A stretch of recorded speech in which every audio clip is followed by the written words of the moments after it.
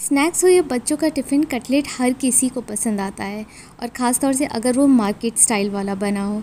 Hello everyone मैं हूँ सृष्टि और आज मैं आप लोगों के लिए ऐसे ही कटलेट की एक रेसिपी लेके आई हूँ, जिसको कि बनाना बहुत ही आसान है। साथ ही साथ वो एकदम मार्केट स्टाइल वाला बन कर के रेडी होगा। और भी इसमें बहुत सारी चीज़ें जो कि मैं आगे वीडियो में आपको बताती रहूँगी। तो बिना किसी देरी के इसकी रेसिपी देख लेते हैं। तो सबसे पहले यहाँ पर एक बाउल में हम लेंगे चार मीडियम साइज़ के उबले आलू, जिसको कि हमने ग्रेट करके ले लिया है।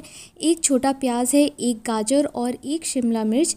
इन तीनों चीज़ों को हमने बिल्कुल बारीक चॉप कर लेना है और फिर इन सारी चीज़ों को हम इसमें मिला देंगे। नेक्स्ट मैंने यहाँ पर लिया हुआ है एक चौथाई कप जितना फ्रोज़न कॉर्नस और साथ में है एक चौथाई कप जितनी मटर, ये भी फ्रोज़न वाली है। इन दोनों चीज़ों को हम एक मिक्सर जार में डाल देंगे और इसमें पानी वगैरह हमें कुछ भी ऐड नहीं करना है।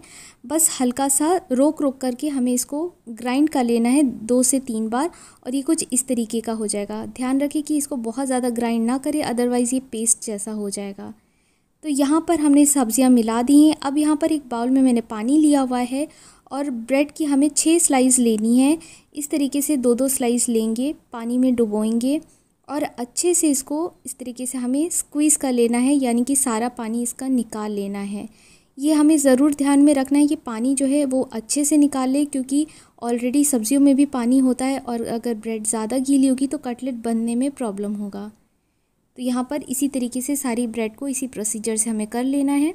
अब नेक्स्ट यहाँ पर मिला लेंगे कॉर्नफ्लोर तो यहाँ पर मैंने टोटल थ्री टीस्पून जितना कॉर्नफ्लोर मिलाया है, साथ में जाएगा some salt as per the taste उसके साथ हम मिला लेंगे थ्री फोर टीस्पून जितना रेड चिली फ्लेक्स एक टीस्पून जितना ऑरिगेनो या मिक्सड हर्ब्स ले सकते हैं, एक टीस्पून गरम मसाला, एक चौथाई टीस्पून जितना red chilli powder three four teaspoon जितना धनिया पाउडर और हाफ़ टी स्पून जितना आमचूर पाउडर यहाँ पर जो मैगी का मसाला आता है, वो भी मैंने यहाँ पर मिलाया है।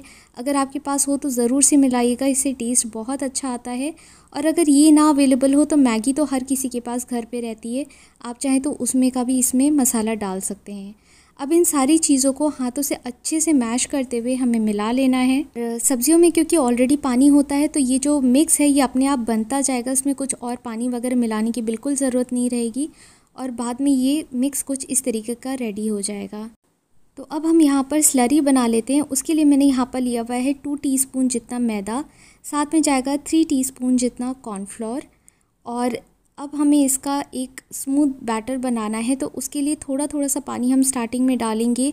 अगर स्टार्टिंग में हम ज़्यादा पानी डाल देंगे तो क्या होगा कि इसमें गुठलियाँ यानी कि लम्ब्स पड़ जाएँगे और इसका एक स्मूथ स्लरी नहीं बनेगा। तो स्टार्टिंग में अभी हमने यहाँ पर थोड़ा सा ही पानी डाला है और इसको इस तरीके से मिक्स करते जाएँ। तो यहाँ पर ये स्लरी हमारी रेडी है और अब हम इसमें मिला देंगे एक चौथाई कप जितना पानी और वापस इसे मिक्स कर लेंगे। स्लरी कुछ इस तरीके की पतली होनी चाहिए। अगर ज़्यादा गाढ़ी होगी स्लरी तो कटलेट जब हम इसमें डालेंगे तो वो टूट सकते हैं। यहाँ पर साथ में मैंने ले लिया है ब्रेड क्रम्स कटलेट को कोट करने के लिए। तो अब चलिए हम कटलेट बनाना शुरू करते हैं। तो यहाँ पर मैं स्पून से ले रही हूँ ताकि मुझे मेज़रमेंट पता रहे और उससे क्या होता है कि एक बराबर के कटलेट्स बन करके रेडी होते हैं।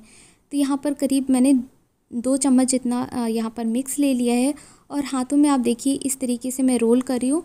थोड़ा सा यहाँ पर मैं ऑयल लगा रही हूँ ताकि ये चिपके ना। तो इस तरीके से पहले इसको लंबाई में हम रोल करेंगे और फिर इस तरीके से अंगूठे और उंगलियों की मदद से इस तरीके से इसको शेप दे देंगे और वापस से रोल कर लेंगे। तो यहाँ पर देखिए ये कुछ इस तरीके से बन करके रेडी हो जाएगा। आप चाहें तो इसको गोल गोल टिक्की के शेप में भी बना सकते हैं, अगर इस तरीके से नहीं बन पा रहा हो। अदरवाइज़ ये शेप बहुत ईजी है और बिल्कुल आसानी से बन जाता है। यहाँ पर इसी तरीके से सारे कटलेट्स बना करके एक प्लेट में ले लेंगे और हर बार आप हाथ में ऑयल लगा लेंगे तो मिक्स जो है वो बिल्कुल भी नहीं चिपकेगा।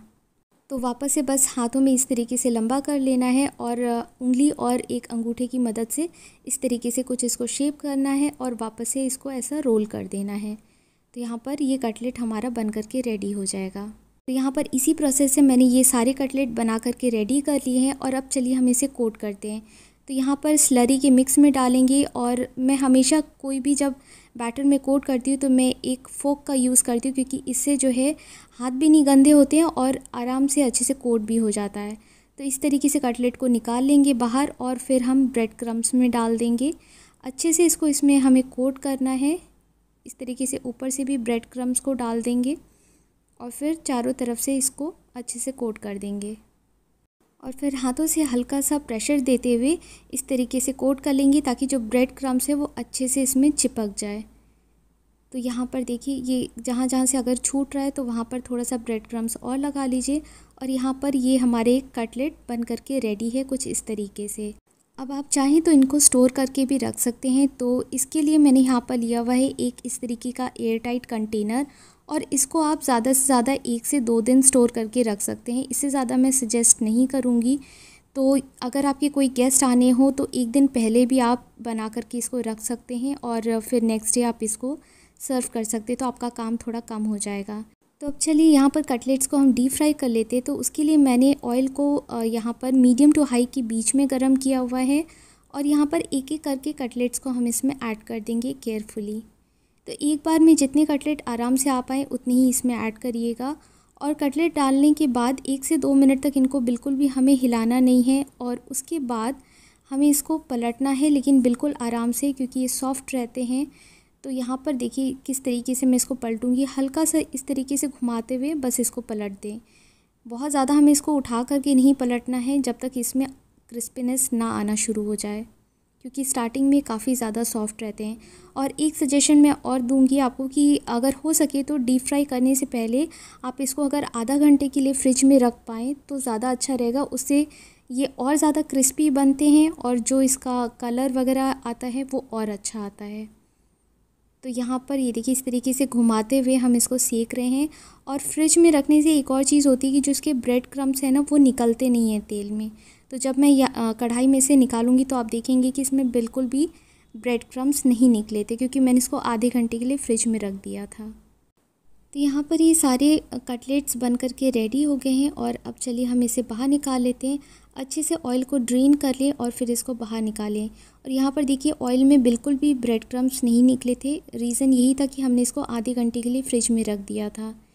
तो यहाँ पर चलिए, अब हम कटलेट्स को सर्व कर लेते हैं। तो यहाँ पर मैंने कटलेट अरेंज कर लिए हैं। साथ में थोड़ा सा रखा है केचप और थोड़ा सा ग्रीन कोरिएंडर इससे लुक भी काफ़ी अच्छा हो जाता है। एंड यहाँ पर ये हमारे मार्केट स्टाइल वाले कटलेट्स बन करके रेडी हैं।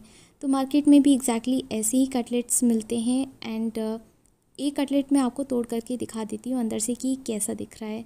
तो लेयर जैसा कि आप ऊपर से देख सकते हैं, काफ़ी ज़्यादा क्रिस्पी है।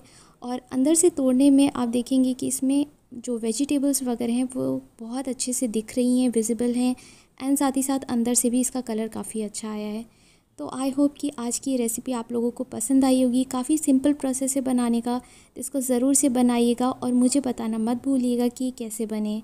Till then stay blessed keep watching my videos and bye from me